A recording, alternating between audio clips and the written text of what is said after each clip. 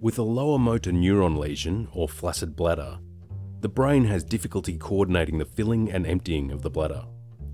This is because the spinal injury has damaged the voluntary and automatic nerves. There are no messages between the spine and the bladder because the nerves are damaged. The bladder is filling. It is always relaxed because the automatic nerves are damaged. The brain can't control the tap, but the tap can hold back the urine because at this stage the pressure is low. The bladder is full, but doesn't try to empty because the automatic nerves are damaged. The bladder keeps filling until the tap can't hold back the urine anymore and it leaks out. A catheter is used to open the tap so the bladder can empty